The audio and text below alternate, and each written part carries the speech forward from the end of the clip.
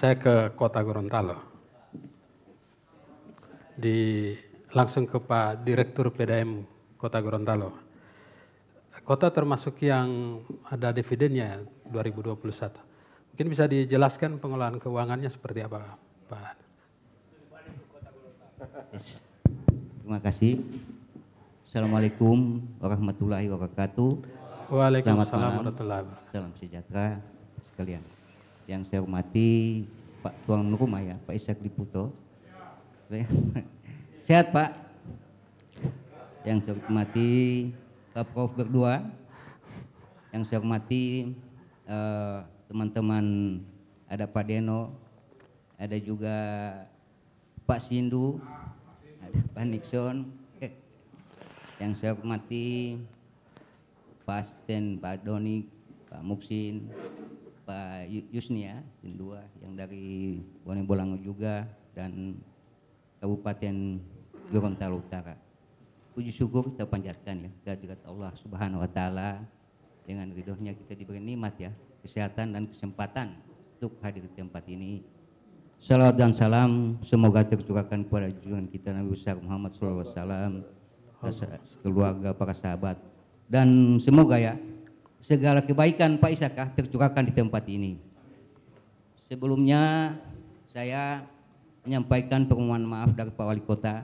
Beliau diundang tapi tidak sempat hadir karena malam ini beliau hadir di DPRD ya sebagai paripurna itu. Jadi tadi ya uh, pertanyaan Pak Hadi seperti apa ya manajemen ya. yang kita gunakan di PDAM atau Perumda Muara Tirta Kota Gorontalo. Sebelum ya saya mau jelaskan terkait PDAM apa namanya pembicaraan kita ini jauh sekali tak kenal maka tak sayang. Seperti apa ini PDAM?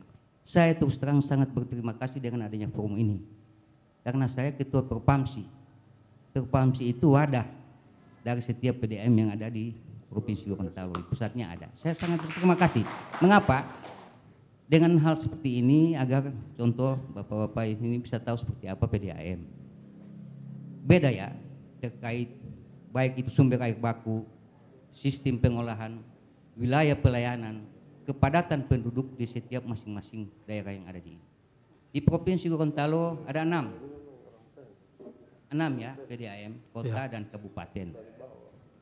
Kalau kami di kota, kita menggunakan ya, apa namanya sumber air baku itu air permukaan, Sungai Bone dan Bolango.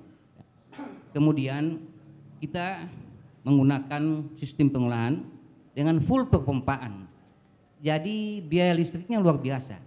Jadi tadi saya koreksi Pak ya, yang Bapak sampaikan, kita bukan satu instalasi.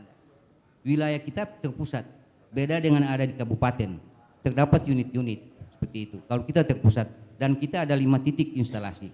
Satu di Bone Bolango, kapasitas yang besar itu 218 liter per detik, dan ada empat di wilayah kota, seperti itu.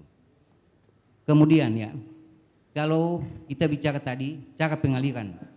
Cara pengaliran itu ada gravitasi dan perpompaan. Kemudian ada gabungan gravitasi dan perpompaan atau perpompaan dan gravitasi. Itulah yang akan menjadi biaya besar yang kita contoh yang ada di Bapak ya. Kalau banyak gravitasi insya Allah biaya operasional kita kecil terkait dengan itu. Tapi kalau kita di PDAM kota cukup besar. Kemudian wilayah pelayanan. PDAM kota masih ada sebagian kecil melayani di Kabupaten Gorontalo, Kabupaten Bone Bolango, dan sebagian kecil lagi di Kabupaten Gorontalo. Pak Doni masih ada sebagian kecil di Pasar sana, kurang lebih 20 pelanggan yang kita layani seperti itu. Kemudian kita bicara eh, cerita terkait dengan pelayanan kita di wilayah administrasi kota. 9 kecamatan, 50 kelurahan, Alhamdulillah semua sudah kita layani dengan sistem perpipaan. Total ya kita kemudian bicara pelanggan. Total pelanggan existing 30.300 kemudian ada yang pelanggan aktif dan non aktif pelanggan aktif itu 25.500an sampai dengan eh, tahun 2021 jadi tadi kita bicara terkait dengan cakupan pelayanan cakupan pelayanan kita 54 persen sekian itu di wilayah administrasi kota Ketika kita kita bicara PDAM, kita juga namanya cakupan teknis, wilayah pelayanan teknis. Kalau PDM kota ada seperti itu karena masih ada sebagian layanan kita yang ada di kabupaten sebelah, seperti itu Pak. Kemudian terkait dengan apa namanya yang Bapak tanyakan tadi ya, Pengelolaan keuangan ya. pengelolaan keuangan. Sekarang kita tertarik sekali saya dengan apa namanya judul dari tema ini ya. Iya. Apa namanya puluhan miliar penyertaan modal PDM tak pernah beruntung.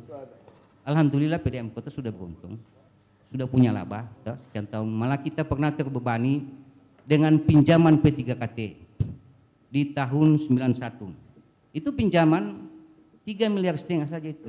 Itu di wilayah Indonesia Timur. Satu saja PDM tidak bisa tidak jadi pinjam, batal. Akhirnya kita pinjam. Hanya 3 M setengah.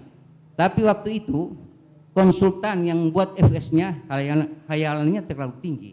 Dia tidak memperhitungkan faktor-faktor non teknis contoh pergantian kepala daerah.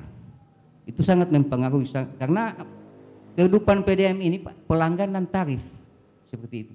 Akhirnya cukup lama kita Pak terbebani dengan utang. Alhamdulillah Pak Yusuf Kala ada sehingga di tahun 2008 ada namanya cut off date. Dia menghapus apa namanya denda, bunga dan apa namanya biaya administrasi tinggal pengembalian pokok. Di 2008 Pak kita penyesuaian tarif kita kondisi sehat sudah sehat full sehat waktu itu sampai kita bisa apa namanya mem- membayar sisa hutang kita ke pemerintah pusat. Kemudian Pak kita juga sudah pernah berkontribusi ke daerah. Di periode 98 sampai di 2015 total kontribusi kita itu sebagai eh, uang muka. Uang muka eh, kepada pemerintah daerah. Kurang lebih 4 miliar sekian. Itu terakhir sampai 2015 dengan adanya edaran dari Menteri Dalam Negeri tahun 2009 di mana PDAM dengan cakupan wilayah pelayanan belum 80% tidak diwajibkan tetapi sebenarnya boleh kalau PDAM itu sehat itu kemudian Pak terkait dengan apa namanya penyertaan modal. Jadi penyertaan modal ke, ke PDAM kota itu banyak berupa aset. Sampai dengan tahun 2021 kurang lebih 62 miliar. Itu total aset dibangun yang dari tahun 80-an baik itu APBN, APBD provinsi, APBD 2. Di luar investasi PDM. PDM kota sudah pernah membangun instalasi pengolahan air kurang lebih 10 miliar di tahun 2016. Itu dana murni PDAM seperti itu, Pak. Kemudian terkait hibah. Ah, hibah tadi banyak dipermasalahkan. Itu kan Pak, apa namanya? Hibah terkait untuk eh, pemasangan ya, gratis. Itu program pemerintah pusat. Bukan program PDM di tiap-tiap daerah. Itu pemerintah pusat menawarkan ke kita. Jadi misalnya kalau kita masih pertama kali ikut, satu sambungan itu dihargai 2 juta ya. Pertama kali ikut. Jadi PDAM kota sudah dua kali ikut. Di 2019 dan 2021. Di 2019 itu 1000 unit, jadi 2 miliar. Kemudian di 2021 1000. Jadi sudah sudah nilainya sudah satu sambungan 3 juta. Jadi total ya hibah seperti itu dari pemerintah kota ke PDM ke PDAM baru 5 miliar. Yang lainnya aset Pak seperti itu. Tidak dana segar. Seperti itu Pak Musin ya. Kemudian terkait apa namanya bagaimana manajemen yang yang kita gunakan ya. Kalau kita menggunakan billing system yang apa namanya dibuat oleh BPKP. Kemudian kita juga menggunakan geografi informasi sistem. Saya duduk-duduk di belakang meja, saya tahu persis kondisi yang ada terkait pelanggan, terkait doi yang masuk, yang keluar, saya tahu. Dan kita, kita menggunakan seperti itu. Kemudian Pak, terkait dengan audit kinerja yang tadi Pak Umar singgung, kita setiap tahun ada audit BPKP loh terkait kinerja.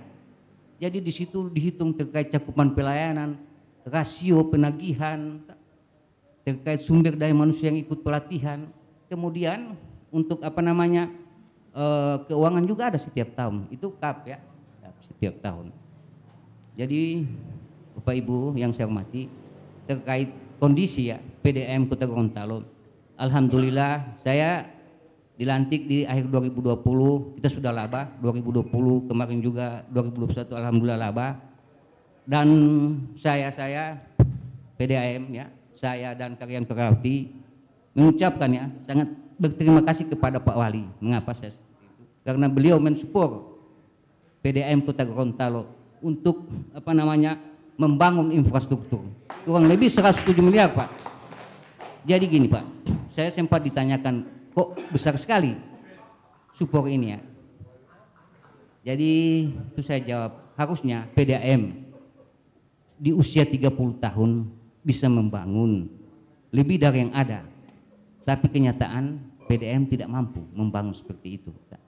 Alhamdulillah ada kepala daerah yang sangat memperhatikan ya terkait dengan kebutuhan dasar manusia, kemudian tanggung jawab terkait air bersih itu tanggung jawab yang diberikan oleh pemerintah pusat kepada pemerintah daerah dan beliau mensupport 107 miliar PDM tidak membayar itu pinjaman pemerintah kota dana kita pen. dana pen jadi kita dibahkan asetnya seperti itu pak terima kasih Berapa tarif per kubik? nah, tarif jadi ah ini tarif ini gak dulu kita masih tarif yang 71 ya Permendagri 71 jadi itu dihitung terkait apa namanya eh, apa biaya-biaya yang ditimbulkan untuk mengelola satu meter kubik air. Ya. Jadi kalau kita, Bapak Ibu juga harus tahu terkait klasifikasi di PDAM. Ada rumah tangga A, itu MBR yang masyarakat berpenghasilan rendah. Kemudian rumah tangga B, rumah tangga C, kemudian niaga dan industri. Kalau kita menghitung tarif, berarti kita menghitung tarif untuk rumah tangga itu pelanggan domestik. Nah, itu juga dibedakan Pak pelanggan don- domestik dan non domestik. Kalau domestik itu pelanggan rumah tangga. Kalau non domestik itu pelanggan di tempat-tempat usaha yang tidak menetap di situ, hanya sewaktu-waktu. Jadi dasar peruntungan tarif itu diambil dari untuk eh, sambungan rumah tangga. Tarif rata-rata kita saat ini Pak 7.000 sekian, kemudian harga pokok produksi kurang lebih 6 ribuan, kita ada margin kurang lebih 300 dan kita sudah full cost recovery, sudah mampu menutup biaya operasi dan udah ada lebih sedikit. Seperti itu Pak, terima kasih. Nah, saya tambahan juga Pak. Ya, Saat ini juga sudah ada aturan yang baru terkait dengan tarif. Jadi sekarang tarif di setiap eh, apa namanya PDM di seluruh Indonesia udah ada pergubnya. Jadi ada situ tarif batas atas bawah, batas atas dan batas bawah. Kalau yang tahun 2021 kemarin batas atas untuk kota beda Pak. Jadi kabupaten beda sama kota juga beda. 11.000 sekian. Kalau di kota 11.000 sekian tarif batas atas bawah, tarif batas bawah 7 ribuan. Kita masih di bawah sedikit. Insya Allah saya akan mau penyesuaian tarif terserah seperti apa penerimaan Bapak Ibu. Terima kasih.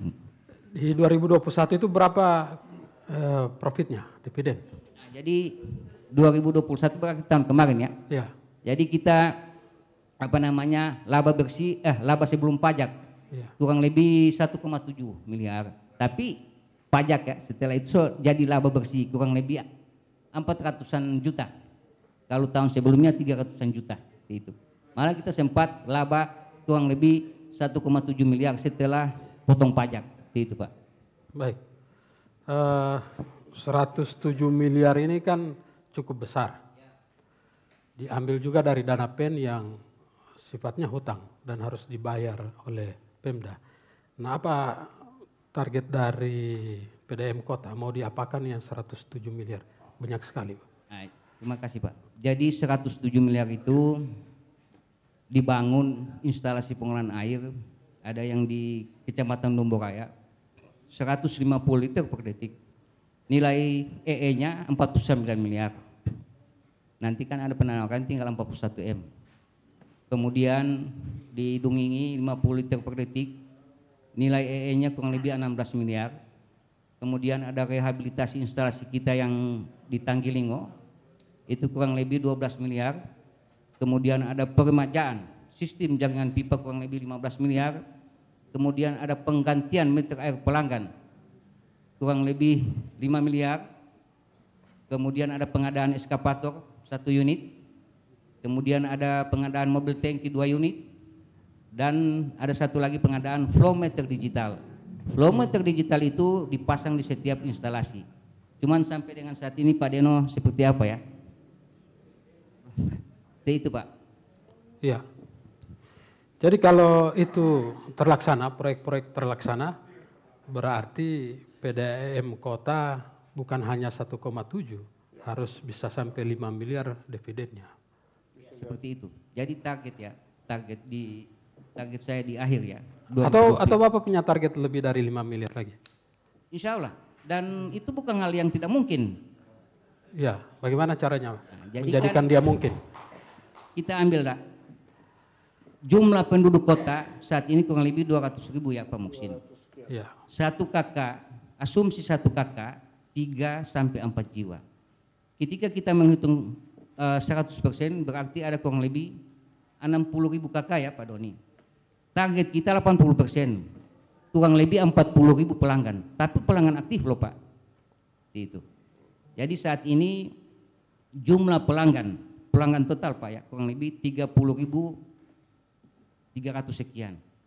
Masih ada kurang lebih 4 ribu yang tidak aktif, jadi yang aktif hanya 25 ribu sekian. Dan itu yang akan kita kejar ya. Cakupan 80% seperti apa, ada strategi-strategi yang akan kita lakukan. Satu, ketika instalasi kita yang di, di Kecamatan Lumburaya, di Kelurahan Batu Selesai, itu 150 liter per detik, itu mampu melayani kurang lebih 10 ribu pelanggan dengan debit dan tekanan yang oke. Karena dekat dengan wilayah kota, itu Pak.